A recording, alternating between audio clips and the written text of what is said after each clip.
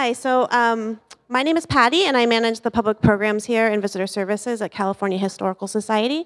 And I'm really excited to have you here for our first panel discussion um, in celebration of our exhibition, which is eight mural stories from Los Angeles of uh, murals that were whitewashed, which was painted over, censored, destroyed.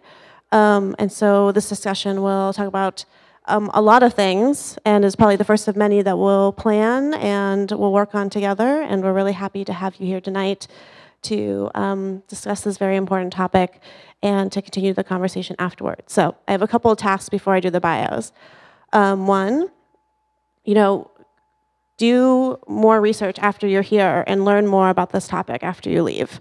Um, talk to Carlos and Josue and Martivón and Mauricio about what they do and expand the knowledge that you're going to learn tonight because there's so much more that um, can be learned about this topic that, that branches art, culture, history, so many different components of the, the story that is um, multivalent. So that's my first task. And my second one is, um, as they're talking about particular things, go to those places, um, participate in those places, and, and help um, keep those places alive. Um, if they continue on or go there and remember them. So um, those are a couple of things that I, I task you all with tonight and, and then ask really good questions during the Q&A. So that's three, um, not just two, but um, and, uh, and keep those questions um, until the very end of all the presentations. So um, for uh, my, one of my best uh, moments, usually during introductions, is to introduce our fabulous uh, set of speakers tonight. And I'll start with Martivón Galindo, who is our second seated here. Uh, was born in San Salvador, El Salvador, in Central America. She has a PhD in Hispanic languages and literature from UC Berkeley um, from in 1998, and um, is also an architect. University of Salvador, Central America, emeritus professor of Latin American and Latino studies at Holy Names University, just recently retired.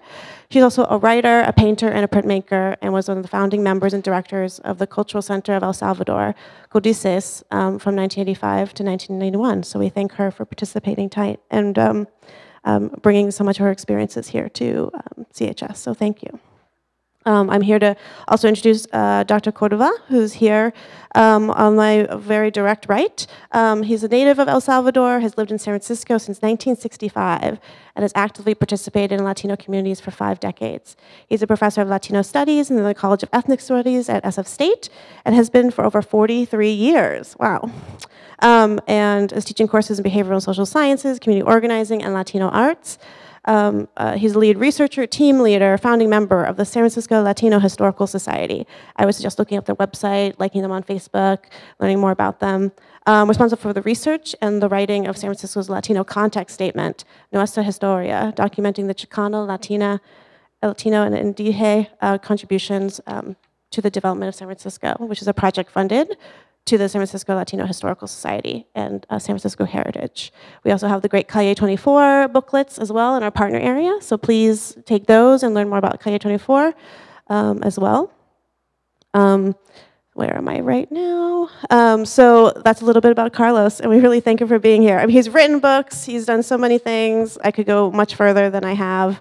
But like I said, after the program and the presenting is done, the Q&A, please go and, and ask him questions and, and learn more about him. Um, he has research specialties in Latino cultural studies, extensive work conducted by Latino Arts in the United States, founding member of Mission Cultural Center in San Francisco. I mean, really, he's a giant. So we thank you for being here. Um, and now we're on to Josue Rojas, who's um, the third from my right, executive director of Acción Latina, um, which he began uh, being the director in 2017. He's an artist, educator, and mission native. Uh, Rojas has over 20 years experience in the fine arts, community arts, arts leadership, and bilingual and ethnic media in the San Francisco Bay Area. Throughout his many endeavors, his work and his vision has been characterized by a commitment to San Francisco's cherished values of community arts and media, civic engagement, social justice, and empowerment for migrant communities and marginalized communities at large. Um, so we welcome him as well. Um, so he'll be speaking tonight. Um, Ramirez is a third year PhD student in Latino Studies and Latin American Studies with an emphasis in visual studies at UC Santa Cruz. Before this program, Mauricio received a Master's in Arts in the Visual um, Master of Arts in Teaching Visual Arts at the University of the Arts in Philadelphia and a bachelor degree in art at UC Santa Cruz. He's also um, is a part-time teacher for the Imagine Bus Project, which is an amazing project um, where he teaches visual arts to incarcerated youth in San Mateo and San Francisco counties. Um, his interests lay in the field of Latin uh, visual arts with a focus on public art and murals in San Francisco and the Bay Area. Um, so I'm really happy to have all four of our speakers tonight. I really thank them for presenting and sharing their histories and these stories tonight. And as I said, the questions will be at the end. We'll use one of these mics and rove it around. So um, when you have a question, just raise your hand and I'll, I'll come find you. And Carlos will start with his presentation, and then we'll just go down the line until the Q&A. So we thank everybody for being here. Well, thank you for being here tonight. Uh, it's really a pleasure uh, to be here and give you a brief 15 minutes uh, of 150 years of history. Uh, it's a very difficult task to do. I usually teach an entire semester um, class, you know, on Central Americans in the U.S., uh, which was the first course on Central American studies to ever be taught in the United States. I began to teach that course in 1974 at San Francisco State University. Um, one of the things that um, motivated me to study the history of Central Americans in this country was the fact that as I was a student, an undergraduate student and a high school student, um, we would be told that the Central Americans had no history in this country, that we were recent immigrants, and therefore we had no importance in our history in this country. But reality was different uh, as I began to do research, as I began to look at migrations, and I began to look at uh, uh, the shipping records, began to see that many Central Americans were arriving in San Francisco at the time of the gold rush. Um, we hear about the Chileans, the Peruvians, but the boats also stopped in Panama and El Salvador, in Mexico, uh, and eventually reached San Francisco, who was the that was the destination point. So we find that during the early migrations, there were a significant number of Central Americans living in uh, San Francisco. The numbers, of course, were not big, and it cannot be considered, let's say, a migration wave, because in order to be a migration wave, you need to have a significant number, a large number of people who migrate for similar causes, for similar reasons. And so what ended up happening is that by 1870, the numbers begin to rise. And that's because also at the same time in Central America, there is a new crop introduced to the local economies, the local agricultural economies, and that is coffee.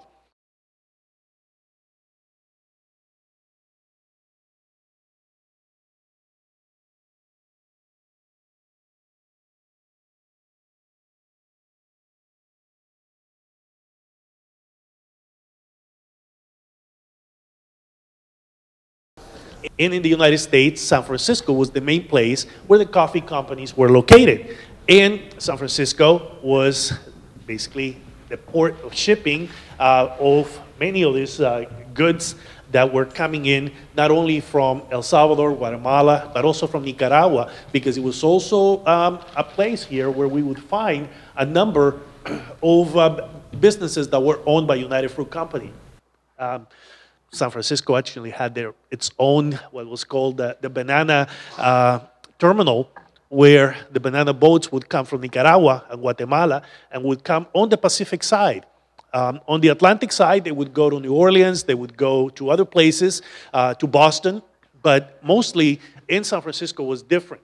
These coffee companies were, again, mostly MJB, Hills, and Folgers that were located here in the South of Market area, uh, where now you see all these new condos that have been built, uh, and uh, that's where they were actually found.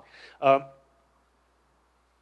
we find that uh, Hills Brothers, for example, um, the, their main headquarters and their plant was located at 2 Harrison Street, right at the base of uh, the Bay Bridge. This was, again, uh, part of Rincon Hill, uh, part of uh, um, a community uh, that uh, people actually that work at many of these companies would actually be residing at.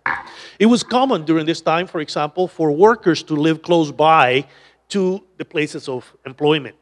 Um, reality is that the public transportation was not really reliable, and people would walk from their homes, from the places where they live, to their places of employment on a daily basis. Uh, and therefore, this community was really important in the area of uh, Rincon Hill. Um, I put a lot of uh, information here so you can see it. But during these early times, um, also people lived in what was called the Latin Quarter or Little Mexico, which was located in North Beach.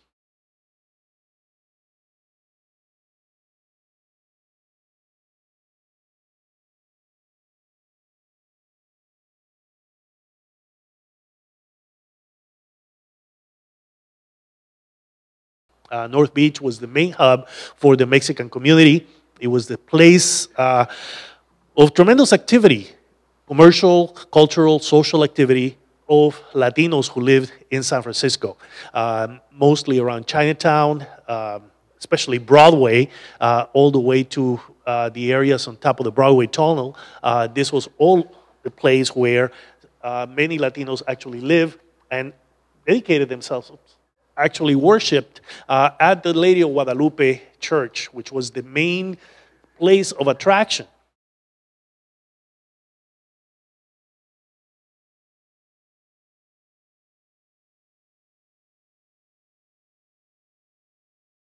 Why did people go to that area? Why did they locate themselves uh, in the, let's say, uh, 1860s, 1870s? Well, the reality was that the church was built and it was the only church in San Francisco that had a Spanish speaking priest. And that attracted many Mexicans, many Central Americans who lived in that area. Of course, during this time, the majority of residents in this uh, neighborhood uh, was actually uh, of Mexican descent, uh, but also there were many Central Americans, there were Basques who lived there, uh, and this became a place of great activity we have that the second migration wave, what I have a catalog that's the second migration wave, uh, actually happened during the 1930s. This was a time of political changes in Central America.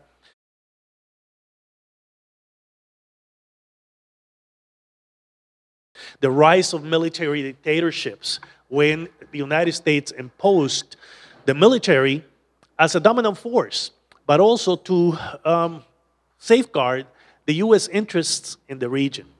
Coffee, bananas, uh, United Fruit Company, the coffee companies had a big hand in deciding who was going to be president in Nicaragua, who was going to be president in El Salvador and in Guatemala. And this was a time in which we see this happening. Um, in Nicaragua, the dictator Anastasio Somoza Garcia assumes power and rules the country with an iron hand. But the fact is that you know, scholars will say and uh, political uh, records will say, well, they were very much dictatorial governments, but not as bad as some of the ones that we see these days. Uh, the fact is that, I'm not apologizing for them, but the fact is that if somebody was an activist, they would basically send them on exile. Tell them, okay, you know, you get five days to leave, and you gather whatever you can carry in your hands, and that's how you go. Uh, and many Nicaraguans actually came to San Francisco and they became the largest Central American group. They are the ones that begin to set the foundations of the Central American communities that later were booming in the 60s and the 70s and then in the 80s. Um, what we find during this time, for example, is that you have a very diverse group. You have people who come from the upper classes, you have people that come from the middle class, you have people that come from the working class of Nicaragua and El Salvador coming in. And uh, many of them lose everything that they have. Former members of the National Guard who disagree with Somoza in Nicaragua also arrive. You have also priests, uh, students, uh, intellectuals, poets, writers who come to San Francisco at the time, and they create a hub of interaction within the Central American community that is very dynamic. Um, what I found to be very interesting during this time is that many of them are not able to go back to Nicaragua at all because they are exiles. And if you go back then, the dictatorship will put you in jail, you will be tortured, and most likely you could be killed. But as long as you stay abroad, you can have all your political activities and all your cultural activities as long as you don't return.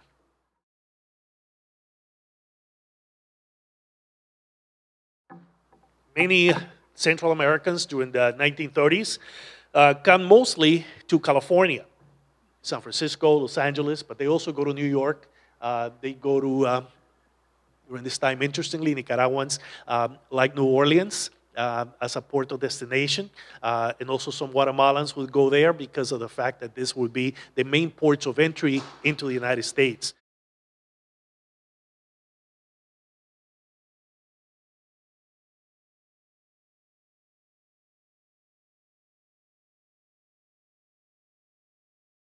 We know that for Europeans, Ellis Island becomes the port of entry, but for Central Americans and Latin Americans, it was New Orleans. That was the main port of entry when they came by boat, and San Francisco or Los Angeles when they came via the Pacific coast. Uh, and this was something that was very important during this time, and that's why we became uh, the communities uh, that people favored to come to arrive. So again, you know, and I talked about this a little bit,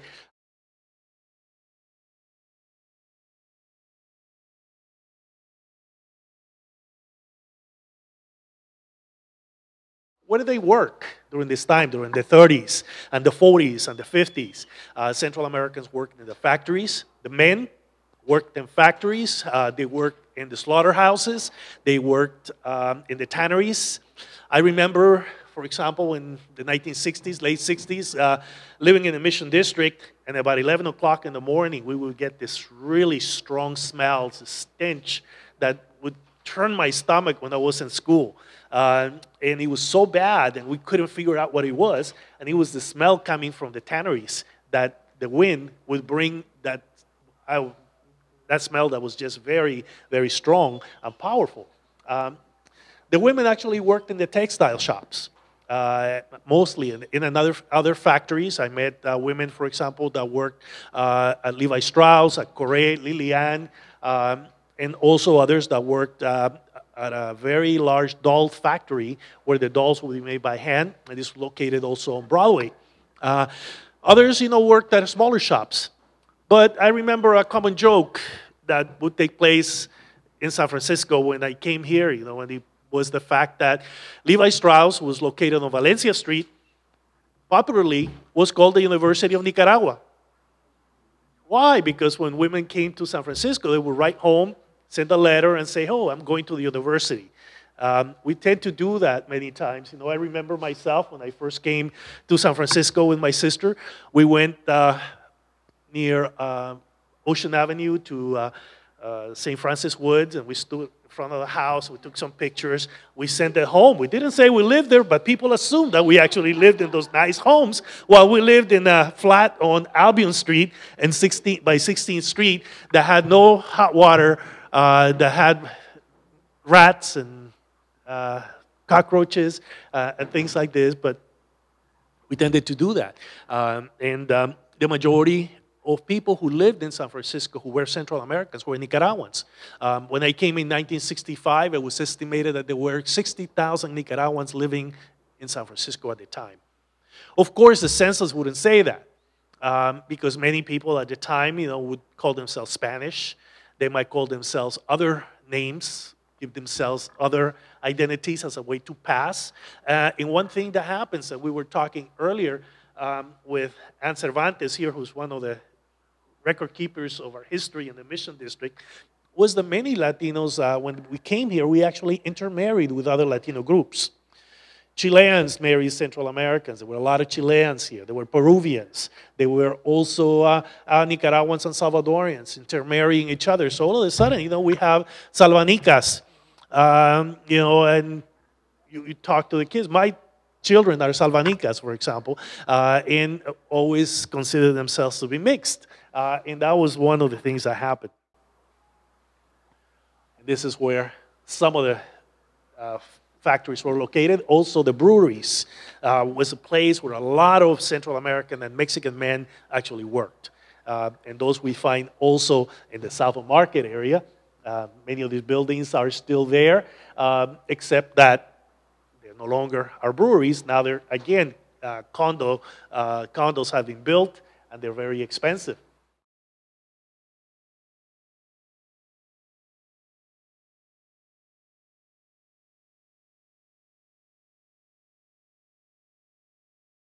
The third migration wave uh, came uh, during World War II. There was a great demand for labor, and many Central Americans went to work in the Panama Canal, And it was there that they would work for a U.S. company, and then they were able to get a labor contract and came to San Francisco. Uh, or they would go to New York, which was the other place that many Central Americans went. Um, this was a great opportunity for many people. My father actually went during World War II to Panama, and about a week after he was there, the war ended. And so all of the jobs basically went down, and uh, he ended up staying for a year. And by then, it was too late. He wanted to come to San Francisco and bring the family, uh, but he wasn't able to do that at the time. Uh, but this was, again, a very common thing that would happen, and this was an interesting migration wave that we see during that time.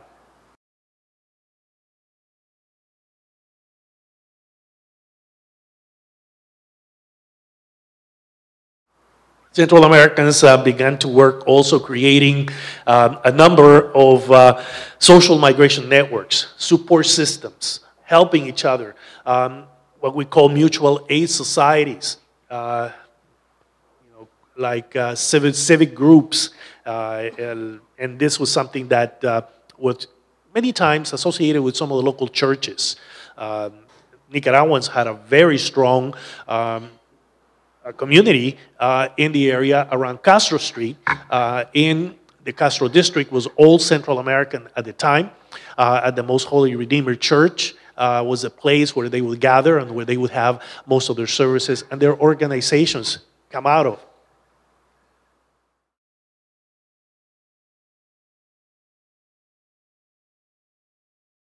One of the things that happens uh, also uh, in this time is that uh, there's a lot of changes that take place after World War II. Uh, when the servicemen return from the war, they realize that San Francisco is going through changes.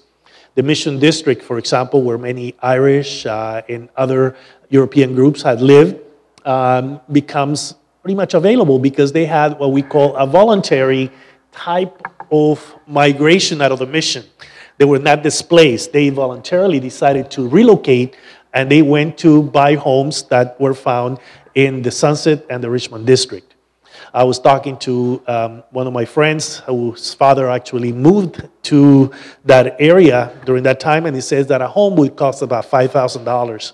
Uh, and it was very easy to purchase a home, to get a loan, and they would move to those areas where they have brand new homes uh, and preferred to go there and left the mission alone. Some of the businesses remain, but the homes were actually found in that area of the city. Um, this was also a time in which many Central Americans began to change dramatically their whole strategy. Um, many of them didn't find any more uh, the availability of jobs that they had found before because of the influx not only of the returning uh, serviceman, but also the fact that there was another internal migration within the United States, and it was the African American migration. People who had gone to military service actually came to California. In San Francisco became a place that attracted many African Americans. And so many Central Americans decided, well, you know, this is no longer the place to be. And they decided to return to Central America where they became part of a new social class in Central America. They became part of a new entrepreneurial class that had worked here and had done a lot of work um, using the models of employment that were found here and recreated those models back in Central America. All of a sudden, we had uh, you know a, a whole uh, type of uh, driving uh, restaurants, uh, just like we see them in. Uh, San Francisco, like Mel's Drive-In, for example. There, was, there were avenues in which this type of restaurants would happen. Uh, some of them were in Central America done by Cuban uh, refugees and immigrants. Others were done by different uh, Central Americans who, who had returned. Um, in Nicaragua, for example, I met a family that had worked here in San Francisco making uh, caskets during the war. Um, good business to make cas caskets during the war. They returned to Nicaragua, and what did they do? They were carpenters. They were really good carpenters, and instead of doing furniture, they decided to start building caskets and to create a type of business which was like um, an insurance, a type of uh, death insurance, in which when you died, you paid monthly so much, and then when you died, you know, you would get all the services provided because you had already paid for them. And this was a, a, family that eventually expanded their business throughout the entire region of Central America. and the five countries of Central America, they control that specific business. And these were people who had lived in San Francisco, learned the trade here, and returned there. And that was just a, one example of so many that did that.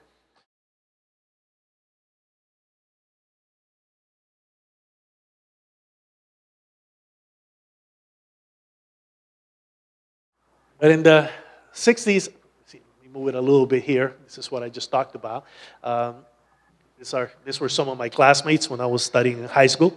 Uh, and these were the kinds of things that we would do, uh, hanging out of, uh, in school. Uh, in 1965, we have another important migration uh, in the 1960s, and we see again the fact that many uh, Central Americans came because the new immigration law, the 1965 Act, uh, Immigration Act of 1965, allowed um, people from all over the world that had not been included as immigrants in the past to be given quotas. A certain number of individuals could come every year, approximately 2,000. And that's what I took the advantage of. I took the opportunity of coming in in 1965 using one of these quotas. Uh, in, they promoted the idea of young people going to school and working in much desired areas in the United States.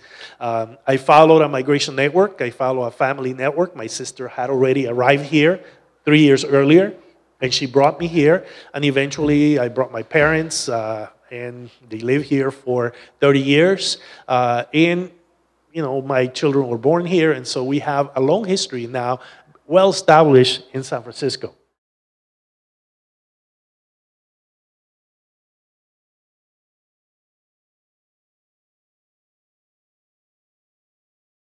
Again, you know, by 1965, approximately, uh, the United States Census would say that there were 57,000, uh, about 57,000 Central Americans living in the United States.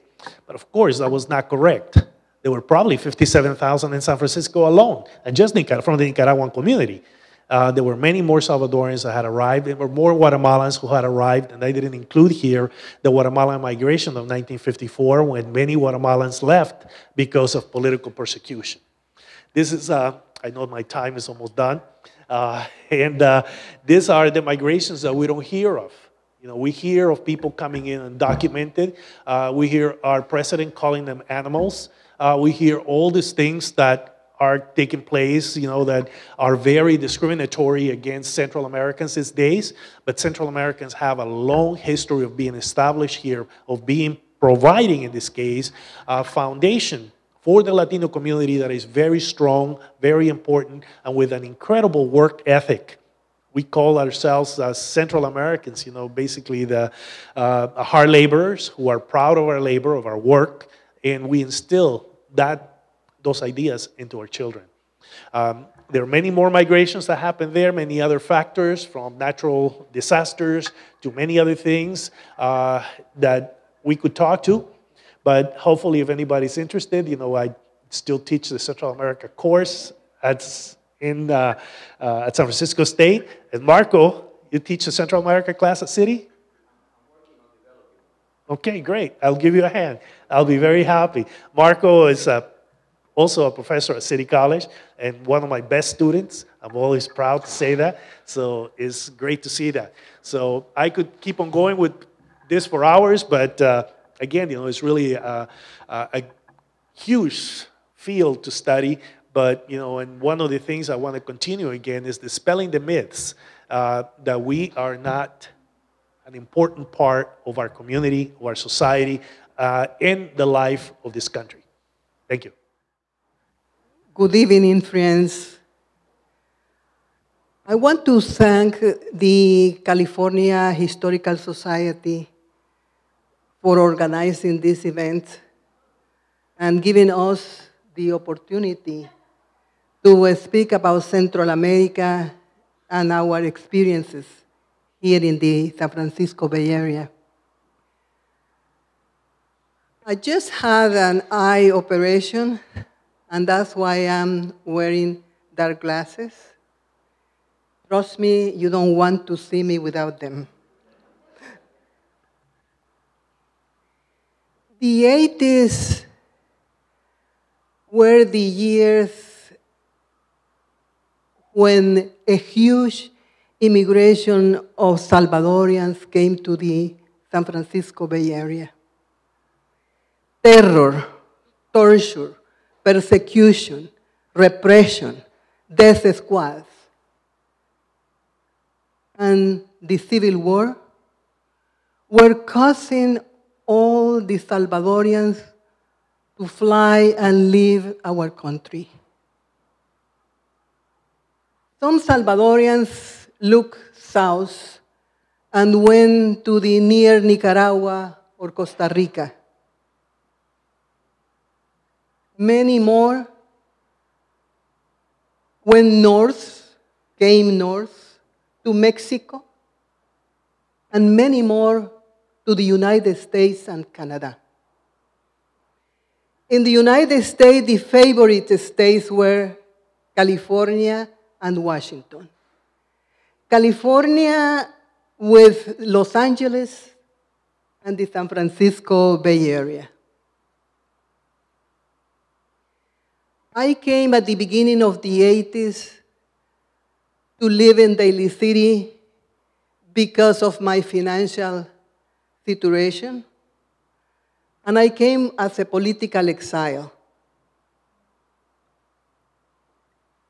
But at the end of the week, working in the peninsula, I longed so much to come to the mission, to eat, to see the Latino community, to talk in Spanish, and really visit the, the galleries and see what was going on in the Mission Cultural Center. In 1985, I had my first art exhibit at Macondo Cultural Center. This center was founded by Cristina Gutierrez, a social and political activist, and it was located in 22nd and Mission. From that exhibit, I got in touch with Salvadorans, and very soon they invite me to connect and to see what we could do for the culture of El Salvador and to spread the word about the culture of El Salvador here in San Francisco. We met for the first time at El Pícaro Café in 16th Street and Mission. We were like 15 or 18 people. We were all excited about the idea of what we could do. And we started meeting in our own houses and apartments. Very soon, we organized our first event, a poetry reading at Macondo, the Cultural Center.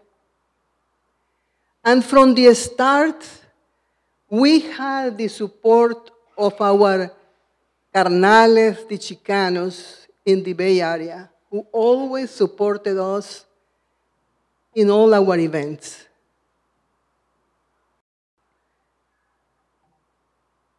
In 1986, at the beginning, we were looking for a place where to establish our nest. We found a place at Balmy Alley. What else could we hope for? It was a dream. The place was used as a carpentry shop first, but by the time that we uh, went to see the place, it was an storage.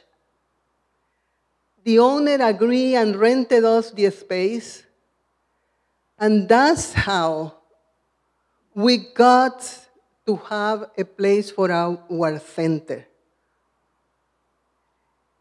We were ecstatic that we were in Balmy Alley with a facade that had indigenous women from Guatemala, Maya women, as a mural. And next to us was a mural dedicated to the School of Roque Dalton, our national poet. At the other corner of Balmy in the 25th Street was Casa Nicaragua. When we started cleaning the place, we realized that we didn't have steps to go to the second floor. And there was no toilet either. So the first events that we invited people, we have to warn them, please be aware that you will have to use the taquerias or the pupuserias nearby because there is no toilet here. There was a sink though, but no toilet. Our Salvadoran community supported us, and carpenters and plumbers came to our aid, and people donated material, and we were able to build a bathroom and the steps. I remember the first time that I came down those steps that were rustic ones. I felt like the queen of some enchanted place because before I was climbing a ladder to go to the offices that were in the second floor. No matter what, we have our place and we name it after another cultural center that was founded in Nicaragua by other Salvadorians, Códices, the name of the old Maya books, of pre-Columbian books. Since that small and humble place that was cold in winter and very hot in summer, we did a lot of activity. The first thing was to create a shop for visual arts in which we included not only Salvadorian artists, but also artists from other Latin American countries. We had two groups that represented Códices. One was a musical group that was called Atonatl, directed by Pedro Rivera. And the other one was a folkloric dancing group directed by Ceci Bando that is right here with us tonight. Thank you, Ceci. These two groups went around the Bay Area performing in every cultural center or any place where they were invited. We were not satisfied with doing our art and our music from our own artists living here in the Bay Area, but we also wanted to create bridges with Los Angeles, where there was another cultural group already working, and also with artists in El Salvador, to give them the opportunity to share what they were doing there during terrible times during the war. And we brought writers such as Manlio Argueta, a very well-known novelist, who came in the 80s, and he did a series of workshops, readings, and writing workshops. We also have the visit of Carlo Mejia, an artist that was living in Washington, D.C., and who did some marvelous uh, Maya cards that uh, I will ask Pat to help me. I have two sets to be a, a raffle among all of you. Uh, and we have also uh, Isaias Mata, who came and organize an exhibit, an art exhibit in the Mission Cultural Center. These people were supported first by Carlos, who was a force in San Francisco State helping us to promote our artists and writers that were coming and bringing them to San Francisco State because of Carlos was doing that connection. And we have also the amazing uh, support from individuals and organizations, such as uh, Ellen Gavin from Women in the Arts, and foundation like San Francisco Foundation, California Art Council, Zellerbach, Vanguard. These foundations, for example, supported a California Art Council, a project to teach children art after school, twice a week. And this was directed by another good friend, member of Códices, Ricardo Portillo. When Códices closed in 1991, the result, the last project, was Tamuanchan. Tamuanchan is a mythical place that some anthropologists believe is the cradle of the Maya civilization and is located in El Salvador. Some people say that we are dreaming, that that's not true, but it's a mythical place. And for us, have that quality, that symbolical meaning of going back to our paradise in some, somewhere, somewhere. So this group, Tamuanchan, was a project that the amazing artist, the Argentinian uh, Claudia Bernardi, created as a project that will teach printmaking to Salvadorian artists and was the last project that she proposed to Códices. For five years, Tamuanchan existed with the funding of California Art Council and with Kala Institute being our space where we took the classes. When the money ended, after five years, we have a good time. Tamuanchan continued as a second phase.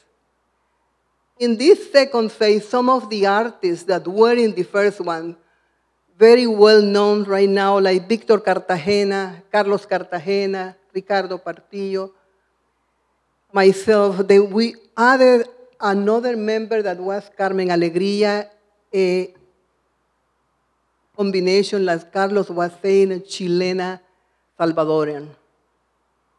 Our first exhibit was at the Mission Cultural Center, but what we really dreamed was to go back to El Salvador and have an exhibition over there. And we did that in 1998. So we went back to Tamuanchan, to this uh, dream land, to this mythical land. We went back there as an offering that we brought our fruits, our artistic fruits that we made while being in exile or as refugees in San Francisco. Tamuanchan ended in 2000 but the artists that were part of Tamuanchan and were part of Códices still are working in the community, still working by themselves or in other projects for this wonderful city of San Francisco.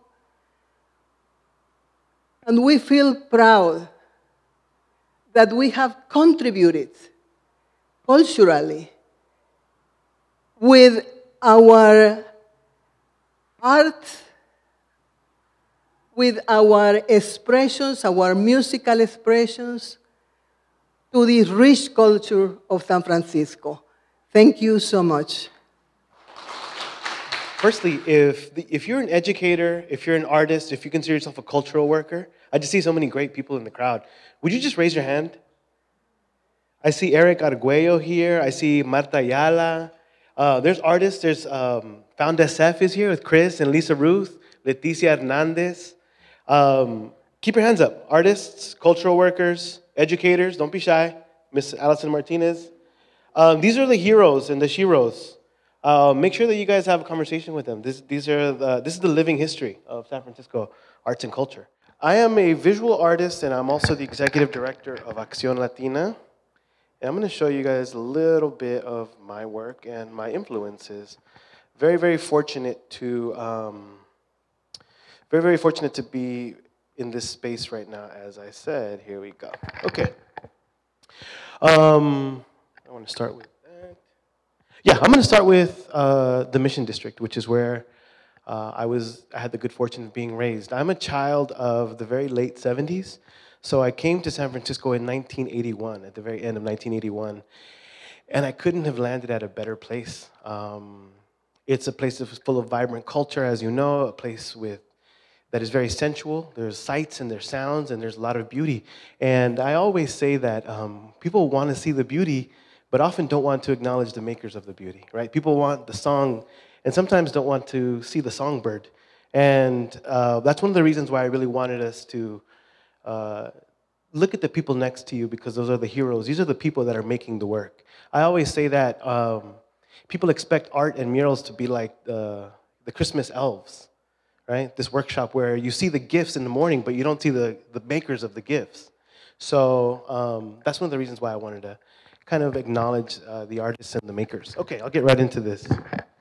Um, my real first encounter with art was through the Mission District. At the age of 15 years old, I was uh, very angry. I was very sad. I lost family members in one year. I lost my cousin and my father all in one year, and I needed a place to put this. And luckily, I came to a space called Precita Eyes Mural Art Center, uh, right on 24th Street. And they said, actually, at that point, it was, um, no, never scan. At that point, it was right on Precita Park. And they said, hey, kid, looks like you have a lot to say. Why don't you take this bucket and uh, do something on this wall, this bucket of paint and this brush, and do something on this wall? And I said, okay. And I never looked back. I, uh, it was the greatest gift that was given to me. Um, fast forward, um, I took art very, very seriously at that age. And fast forward a few years, and I was at the California College of Arts and Crafts. I'm very proud of the C at the end of that before they switched back to California College of the Arts. Anyway, I met Professor Claudia Bernardi, and um, I'll never forget, I was living in the uh, Bayview Hunters Point, and I came home one day from college and I had a Che Guevara poster. Uh, and I put it on my window. And my mom says, Oh, hell no, you're not doing that. And then I says, Well, why? So she had spent all her life as a pretty fervent evangelical and protected, protecting us. One of the reasons why she left El Salvador was that so her four sons would not participate in the war. So she didn't want us to be politicized. So you would imagine how political could I have been? Uh, and it was, um, it was spaces like Balmy Alley, which uh, Carlos Cordova and uh, Martivón, as you, see, as you know, helped found. You know, I think um, we're talking a lot about spaces and things like sanctuary, right, which is a very political, uh, a political hot point right now. But also, it has its, it has its creative expression, and Balmy Alley is, in my mind, the creative expression of sanctuary. All right. So back to the uh, the idea of being politicized. Uh, I had the fortune, the good fortune of meeting Claudia Bernardi, which Martivón uh, mentioned, and I am very proud to say that I am a Bernardista. I am part of the fruit of the uh, the artists that were politicized by this very influential artists, and her work was really geared towards uh, El Mozote. She was one of the people who dug up the evidences of El Mozote. Does anybody know when I say El Mozote what I'm talking about? Yeah? I mean, we're all historians, but um, I'll just give a quick layup to the video that I'm about to play. El Mozote was the single largest human rights violation uh, of the Americas, where upwards of, I'm going to say just slightly under a thousand people, mostly women, women and children, were killed by the Salvadoran government uh, using US uh, weaponry. So better than I could say, I'll let this project speak for itself. We're going to watch a quick four and a half minute video about El Mozote, and then I'll talk to you a little bit more about my work. I hope we have this audio here.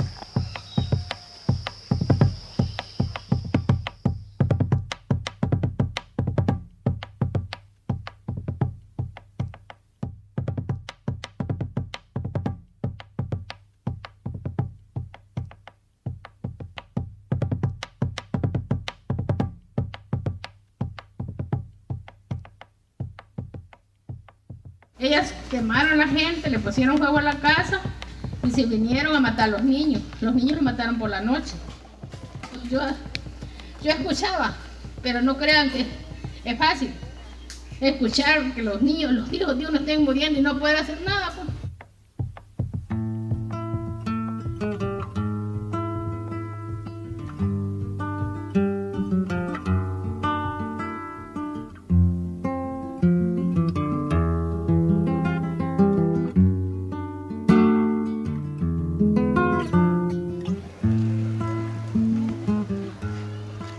Choice of either joining the combatants or you had the choice of fleeing because the army came in here and was pretty much killing anybody who looked indigenous. So you could either fight back or you could leave.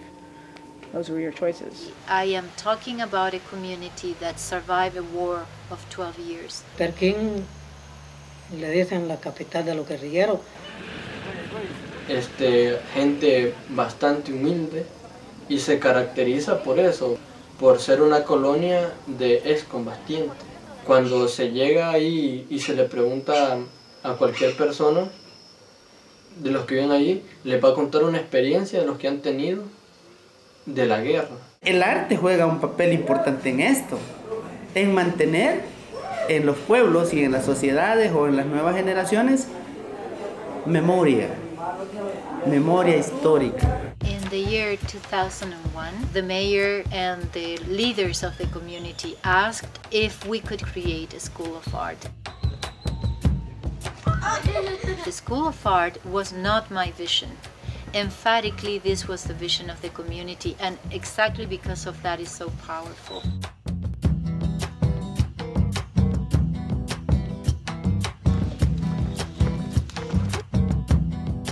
Printmaking classes, drawing classes, jewelry classes, photography classes, video classes, everything that we artists can produce as an offering, the community takes.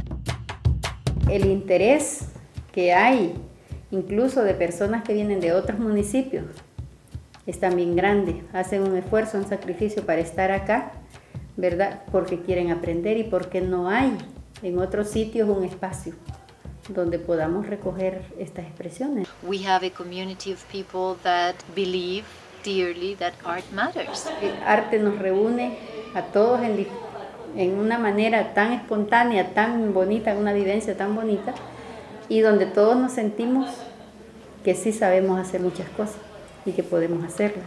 Cuando yo veo la obra que he podido, obra de arte que he podido realizar, me siento una persona con, con dignidad. Y esto es importante, superar la baja autoestima que la gente pobre a veces eh, tiene. ¿no?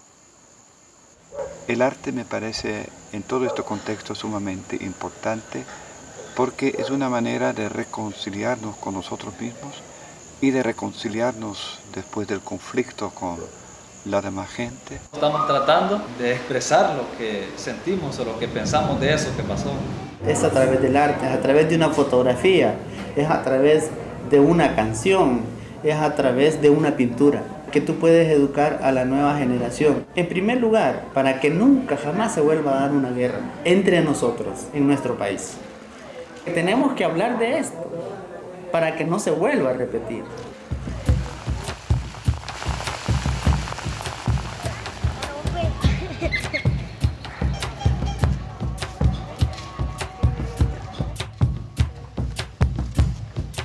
Tú no miras todo. Hay algo más que no se ve. Hay que buscarlo, hay que... Y, es, y ese es el papel del arte. Buscar algo más de lo que nuestros ojos alcanzan a ver.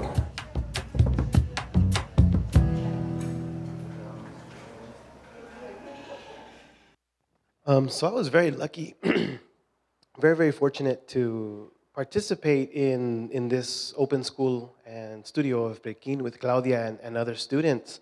And I think one of the huge, the very big takeaways for me was the fact that, you know, in art school, they teach you, they're very preoccupied with teaching you the how, right?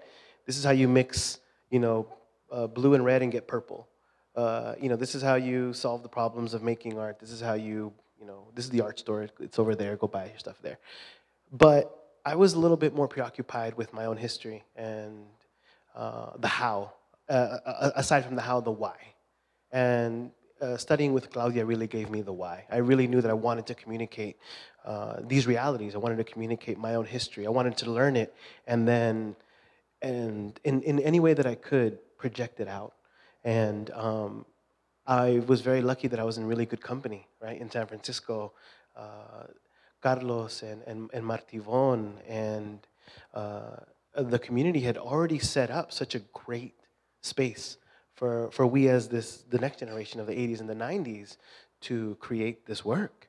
Um, so I was thinking, who, how, how can I speak to my generation of Central Americans? And, and San Francisco is such a powerful place. I have uh, here a photo of, of uh, Ben Bac Sierra, uh, an advocate for the Alex Nieto Memorial, which I am a part of, uh, of the committee for.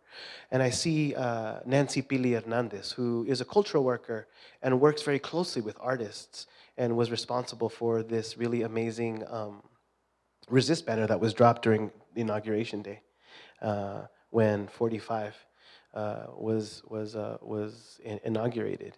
And what they two, both these, these people, these folks have in common, my, my, my friends, is that they went from a life of first doing, um, being involved in gangs in the mission, and then being educators, then being lawyers, then being activists.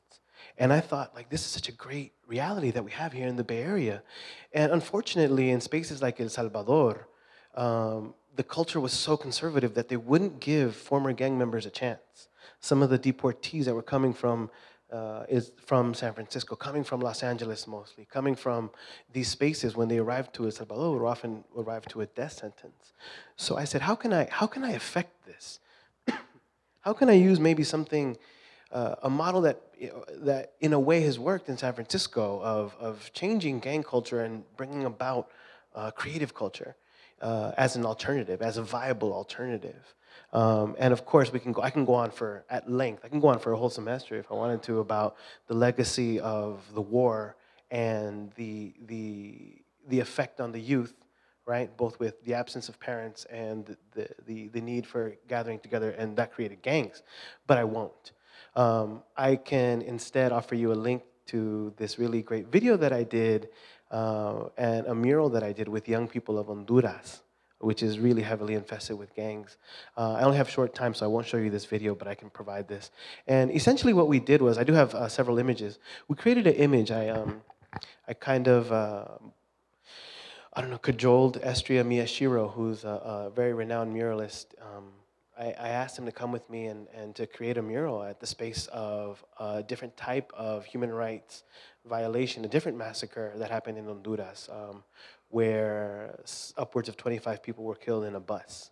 And the gang members were blamed for this. Um, and that caused this huge crackdown on, uh, let me see here, this huge crackdown, you know, um, uh, and the justification for violence against these young people.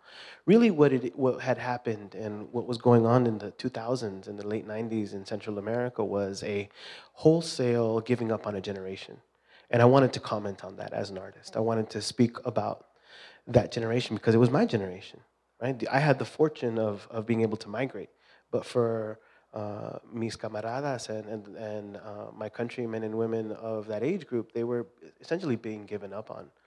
So I'm showing you here uh, the headlines that these young people made. Uh, we introduced uh, the idea of murals and they took it and ran with it. And I don't think that we really uh, did anything out of this world. We just, I just kind of help initiate what was given to me, which is the license to say, hey, you are an artist. You can call yourself an artist. It's okay to do that. And uh, a funny fact, I was at NALAC last year, the National Association of Latino Arts and Cultures, and they were saying that Latino culture is really unique in that 80% of Latinos would consider themselves an artist in one way or another, right? So whether they're giving you, whether an artist behind, in the, behind the counter in the kitchen, whether they're an artist singing mariachis, whether they're an artist singing in the shower, whether they're you know, doing papel picado, we consider ourselves a creative culture. So, you know, just to have that license to say, hey, let's paint these murals, it just really, um, they took off and they did, they've done uh, upwards of 30 murals in San Pedro Sula, this group, and they call themselves now Pinceles del Barrio, which is brushes of, of the neighborhood. And you can find them um, You can find them online, particularly Facebook.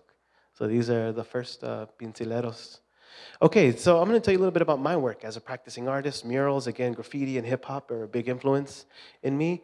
Um, it was really funny. I was part of a show. Well, it was, funny for two reasons. One, it was called Morning, Morning and Scars.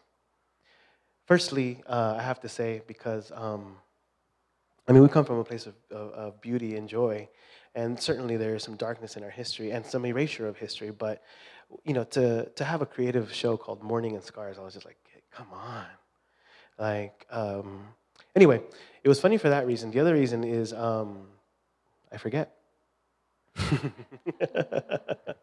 we'll leave it at that.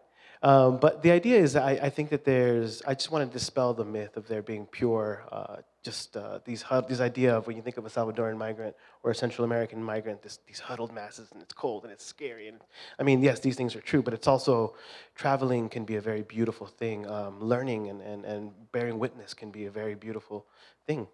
Okay, here we are at Balmy Alley, uh, which has been mentioned before. Uh, Balmy Alley was for me, a real reckoning. It's really when I saw myself as an artist. Um, here's the entrance of it. This is uh, Martivona. Am I correct in saying that that is where the uh, uh, La, La Escuela Nicaragua was at? Casa Nicaragua. And now is uh, the Clínica Martín Baró. So aside from one of my big influences being Carlos Cordova uh, at SF State, uh, Felix Kury, uh, who runs the Clínica, is a really big uh, influence. And I think it's because of his service to the community. He runs a clinic that serves mostly undocumented people on Saturdays. And he, um, he, he puts together this amazing team of young students from SF State, from USF, and from City College. And they offer uh, service to undocumented people. But he also is a holistic, he has a very holistic approach to healing. And you see here the, the, the other, I called myself a, a, a Bernardista after Claudia Bernardi, but I'm also a Martin Baroista. I believe in liberation psychology, the idea of uh, freeing, freeing your mind and your ass will follow uh, was put into this really great academic language by uh, Martin Baró. And uh, there's another book there that's really influential that, that I didn't put on here, and it's called Toward Psychologies of, uh, of Liberation. And it's about communities taking healing into their own hand. Um, so I'm very influenced by not only, you know, uh, blue plus red is purple, but also the ideas of, of, of our culture. Uh, and in true spirit, um, in community arts, my mother is always with me uh, whenever I make a mural. Uh, she's always chiming in. Here's a little piece of my art I want to show you. Um, um, I'm trying to use the, the languages, right? Um, I, I think I find that artists in California have to be bilingual, not only in Spanish and English, but to speak the different languages. So you see here hints of uh, the Japanese animation of Astro Boy. Uh, you see some hints of uh, uh the Big Boy Burger in LA, in 1950s cartoons, and you see some, um, obviously some maras, right, and some transnational presence here. And I just really wanted to humanize, uh, again, it's another expression of wanting to humanize uh, the young people of my generation. I call this the joy of exile. Uh, uh, another big influence, uh, it's always a literature piece. For me, it's um, Enrique's Journey, uh, the young migrants who come on the tops of trains from Central America. We saw the caravan uh, last month, or this month actually, of thousands of people who came from Honduras. well, this book, Enrique's Journey, is a really amazing Pulitzer Prize winning account of this young, this young man Enrique's journey. And so that inspired this, uh, this mural that's in Balmy Alley, actually. So I had the great fortune of, uh, maybe it was 2008, 2010, I saw a blank wall and I said, hey, you gotta give me that wall. And they did, and uh, I worked on it, and it took me a couple years to finish this, but this is my expression of, of, uh, of love for the migrants of the mission and uh, the real heroes, the real human right heroes who migrate every day uh, and contribute to the culture. Um, these young poets took notice of it, uh, SF Writers Corps project. Uh, so these young poets at uh, Sanchez Elementary put together this beautiful book called Street Heart, and it's love poems to the mission murals. There's a SF Chronicle article about it, and I'll make sure that if you want to, uh, Patty can make available to you. Okay, there's me. Um, here's another one of my works. Uh, we think that uh, we're being expressed that art uh, uh, migrating is a crime. And if migrating is a crime, then there's a machine behind that crime, and this is called the transgression machine. This is my this is the machinery that makes people migrate. In my mind, so this is the blueprint for that machine. I can go into it in detail, but we wouldn't leave today. Um, here's just a, a, painting of mine that just shows you the expression of painting. I just really love the craft of making art, and I love paint. Oh, here's Mourning and Scars. So sad. So, so sad. Okay. Um, again, poets and writers are some of my favorite people. So I, um, I find ways to collaborate with them. One of my latest projects was called Gentromancer in 2016, and I asked several poets to write poetry to uh, gentrification as if it were a monster, as if it were personified uh, as a monster. So um, we basically wrote poems and saying, you can't have this, this is ours. So I think um, I really wanted to get to the idea of, you know, uh, artists now are being, uh, Central Americans now in the mission are being, you know, twice displaced. First was the war. I would say three times displaced. First was the erasure of our history, things like 1932 and the massacre then we, didn't, we don't know about. What about that? Uh, then, um, you know, the migration and, and, and having to be displaced then, right, to this new place. And then having to, having built a beautiful nest, a place with color, a place that we love, like the Mission District, now we have to face gentrification. So what do we do with that? Uh, it made, it, it, we, I showed at Acción Latina, which um, puts out El Tecolote, and I brought several copies for people to take. Actually, we published it today. It's hot off the press. And I did this piece of a young man named Alex Nieto, and uh, I'll tell you more about this piece a little bit further. Here's another uh, installation uh, photograph of Gentromancer. And I wanted to comment on the fires, all these fires that are coming about uh, when they were burning spaces in the mission accidentally, and um, you know, essentially endorsing violence against people to move. And uh, I said, wait a second, why are we afraid? You know, it was a very scary time, all the smoke in the mission. I remember a couple summers ago, all the smoke. And I said, hey, we got our own fire. We come from volcano land, right? Better watch out, we have our own fire. So this is my symbolic re re response to that. Here's some more installation shots. I'm gonna push forward because I want to, um, I wanna get to uh, what I'm doing now. Here's some very cool people. Dr. Loco and the Martinez sisters. some of the Acción Latina families and the, the Nieto family there. Um, the Nieto family asked me if they could use this image, uh, and I said, yes, absolutely. And so this image has now um, been kind of the, uh, the icon of the movement for the Alex Nieto Memorial, which uh, is something that I'm helping design. It's going to look a little bit like this. I'm going to kind of breeze through this, but it has to do with the four directions and Alex Nieto's spirit being with us. Do we have time for one quick video? Actually, no? Okay, I'll, I'll leave that out. No, it's two minutes long, but we don't have to. I'm going to tell you a little bit just about, okay, yeah? The video? Okay, I'll show the video. So I'm going to tell you a little bit about what we do at Acción Latina, but actually I'm going to save the video for last. Ah. At Acción Latina, um, which I am now the executive director of, uh, it is, our mission is to promote cultural arts, community media, and civic engagement as a way of building healthy and empowered Latino communities. I'm supposed to know that by heart because I'm the executive director, but I read it right from there. Um, but we do three things. We have a space, which is beautiful. Uh, we put together art shows that document uh, our masters. So um, the makers and the, the, founders of this movement, uh, as well as uh, some of the young up-and-comers we El Tecolote is is a, a, our flagship media project, and talk about history. It's been around for 48 years this summer, and we have an archive that goes back that deep. So um, we put out El Tecolote. We have the very great fortune of uh, giving artists like Rupert Garcia and Juan Felipe Herrera, Juana Alicia, their first ink. Uh, there's Juan, Juan Gonzalez, the, the, the founder. So here's El Tecolote through the years. That's us now. And we've given a lot of journalists their start. So Santi, who you see there holding a camera talking to another photographer, is now, uh, he just had a show at MCCLA of his solo photography, and he's one of the prime photographers for the, Chronicle.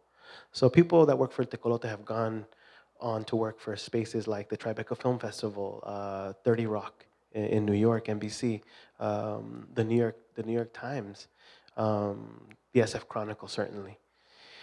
Uh, and we're a very we're a safe space for community. So people come and enjoy the space with us. And we're part of the Latino Cultural District, which is Calle 24, and uh, some of which uh, the representatives are actually here. Um, we do a art stroll called um, Paseo Artístico, where we activate the Latino Cultural District with artists. We hire them, they come, they do workshops, uh, performances, and dance, and uh, film screenings, uh, stand-up comedy, pop-up murals, uh, and 50% of the programming is kid-friendly. Here we have uh, some evidence of an Afro, the Afro-Latino uh, encuentro that happened recently. Rafael Jesus uh, Gonzalez, the poet laureate of Berkeley. So we're very active in, in continuing to have artists uh, show in this space and talk about their work in this space. Okay, um, oh, so this was last year's Roque Dalton event this time? Okay. okay. we'll skip the video, but I'll just give one quick shameless plug. This is last year's Roque Dalton tribute event. This, this Yesterday was Roque Dalton's birthday. Was it the 12th or the 16th? This week was Roque Dalton's birthday, and we celebrate, we celebrate it um, every year at Acción Latina by reading his poetry and reading his works and hanging out and having drinks and pupusas. So if you can come by tomorrow, 24th in Alabama, free pupusas, um, drinks for a donation, and we'll be reading his work. So come join us. Leticia Hernandez will be there. So it'll be a party. Eh, I'm done.